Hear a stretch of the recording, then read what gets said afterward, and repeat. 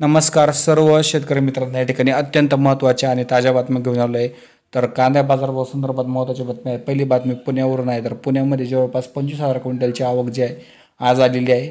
या ठिकाणी कमीत कमी सहाशे सरासरी जर बघितलं तर जे आहे चौदाशे जास्तीत जास्त सोळाशे ते सतराशे रुपये मार्केट पुण्यामध्ये पाहायला मिळत आहे. पारनेरमध्ये चोवीस हजार क्विंटलची आवक आलेली आहे. सरासरी चौदाशे तर जास्तीत जास्त अठराशे रुपये मार्केट या ठिकाणी आपल्याला पाहायला मिळत आहे. बाजारभाव या ठिकाणी याच रेंजमध्ये सध्या आपल्याला पाहायला मिळ- सध्या जर बघितलं तर ज्या निर्यातबंदीमुळे कांदा बाजारभावामध्ये आपल्याला या ठिकाणी मोठा फरक या ठिकाणी आपल्याला पाहायला मिळत आहे. धन्यवाद एवढं बघितल्याबद्दल.